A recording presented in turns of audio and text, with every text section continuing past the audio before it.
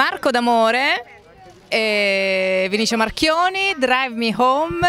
Allora, due ragazzi che lasciano il loro piccolo paese della Sicilia, due amici, e vanno. Vanno per cercare qualcosa, tipo un'identità, o vanno per fuggire? Ma soprattutto dove vanno?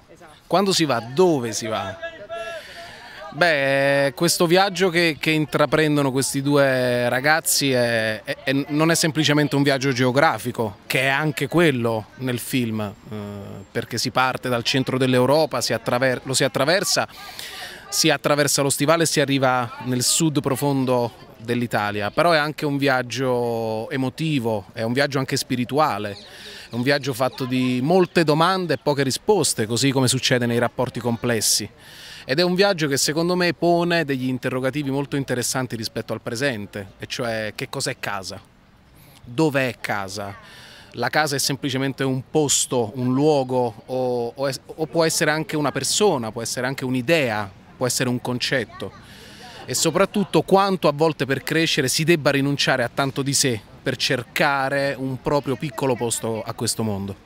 Vinicio, ovviamente tema, uno dei temi centrali è l'amicizia che c'è tra voi, eh, però uno dei due ha una sorta di segreto e sottovaluta un po' l'altro, no? Pensa, no, non, dice no, non te l'ho detto perché pensavo che non, non mi avresti diciamo, capito, adesso non sveliamo insomma, di cosa si tratta. Quindi l'amicizia deve essere anche questo, no? deve essere anche accettare l'altro.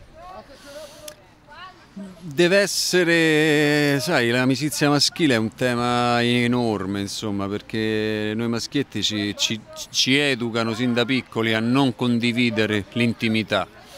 Non siamo bravi come le donne in moltissime cose. In questa soprattutto non parliamo mai della, della, nostra vita intima, non parliamo mai delle nostre fragilità, della nostra intimità tra di noi e invece spero che con questo film, insomma perlomeno una delle cose su cui abbiamo cercato di lavorare con Marco è proprio la necessità e la bellezza di condividere un semplice ma come stai?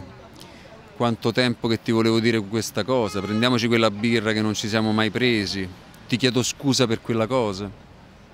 Sono le cose più semplici della quotidianità degli uomini che noi invece ci mettiamo dentro, ingoiamo, non, con, non, non, non abbiamo l'abitudine alla condivisione e poi magari tutta questa roba si va a mettere da qualche parte oscura e si sfoga purtroppo sempre più spesso nella violenza e questa cosa se riuscissimo ad imparare con un po' più di leggerezza a condividere anche le nostre mancanze, le nostre fragilità, forse potremmo diventare degli uomini migliori.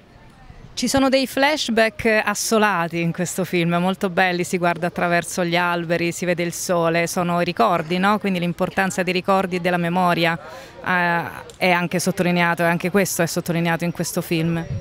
Beh, sono assolati perché raccontano forse del periodo più bello della vita, quando si è liberi da, da tanti giudizi sull'altro, che è l'età del dell'ignoto, è l'età in cui non si è ancora formati, non si è ancora né maschi né femmine, né uomini né donne, né simpatici né antipatici, né talentuosi né incapaci, si è bambini. E quando si è bambini si gioca insieme anche con molta serietà, ma lo si fa accettando e includendo tutti. E dunque non a caso quei ricordi sono pieni di sole, perché sono la parte più illuminata dell'esistenza di questi due uomini. Vinicio, quanto contano i ricordi, anche per tornare a casa?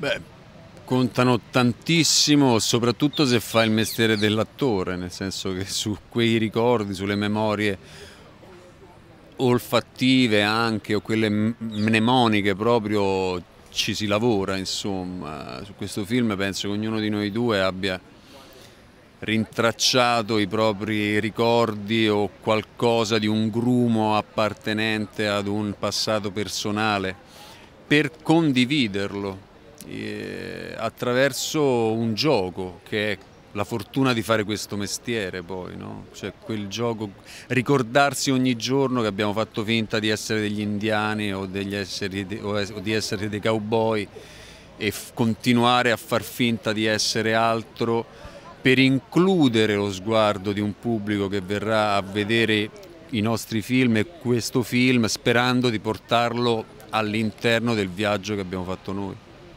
Ci sarà del teatro nel vostro futuro? Tu con i soliti ignoti, anche tu salirai sul palcoscenico molto presto? Ma io dico sempre più spesso che, che il cinema e la televisione sono delle parentesi nella mia carriera teatrale. Queste parentesi a volte si allargano tanto, per il prossimo anno sicuramente non potrò ritornare sul palco, anche perché per me dedicarmi al teatro significa non fare nient'altro, perché non intendo il teatro né come uno svago né come una vetrina, ma è il mio mestiere, è, è quello per cui ho studiato e dunque sono sicuro che tra un anno avrò il tempo per fermarmi, per dedicarmi, ci sono delle idee che mi tormentano e mi ossessionano, vedremo quale di queste saprà farmi fare il miglior incubo. Magari dopo l'immortale. Invece tu i soliti ignoti lo porti a teatro come regista, ma non solo, no? Sei sul palco. Ahimè sì. Nel ruolo di Gasman? Forse Gasman, sì, però ancora non lo so. Eh, i, i soliti ignoti da dicembre fino a marzo, fino a fine marzo e poi la stagione successiva e poi invece come produttore e come regista al Teatro Argo e all'Elfo Puccini di Milano, la trilogia, la trilogia dell'essenziale, eh, tre monologhi scritti da Valentina Diana, interpretati da Marco Vergane che è un attore bravissimo. Quindi insomma il teatro sta prendendo, sta continuando ad essere una parte fondamentale di tutto quello che faccio. Insomma. Ultimissima per chiudere, prima volta insieme in un film e poi per tutto il film, com'è andata? Io penso che dal punto di vista artistico e umano sia stato l'incontro più felice della mia carriera ad oggi. Nel senso, nella misura in cui questo uomo è riuscito proprio ad aprire degli angoli bui della mia esistenza e a farmeli tirare fuori con quella leggerezza di cui parlava, quindi il percorso artistico ha coinciso perfettamente con quello umano, che poi è quello che un artista si, si, si immagina e spera sempre di poter avere. Con Vinicio è successo. Sai, è stato un incontro raro, si fa anche fatica a parlarne, nel senso che è stato un viaggio talmente intimo, talmente un'unione umana, professionale, artistica, mentale, di pancia, di, di, di vite, eh, la fortuna di poter eh, condividere un film con un essere umano straordinario, con un attore straordinario, eh, con un attore che mette in gioco tutta la sua vita mentre fa quello che fa, è, ra è raro. Vorrei fare film solo con Marco D'Amore Facciamo un appello, Vinicio Marchioni solo film con Marco D'Amore. Come Marco regista, solo con Vinicio come produttore, come qualsiasi cosa. Quando nascono queste cose negli Stati Uniti ci costruiscono delle carriere. A noi ci dividono e non si capisce perché invece. Ma noi non ci faremo dividere. Prossima coppia, anzi nuova coppia del cinema italiano. Grazie. Ciao Spettacolo Mania. Ciao Spettacolo Mania. Andate al cinema e a teatro. Ciao. Ciao.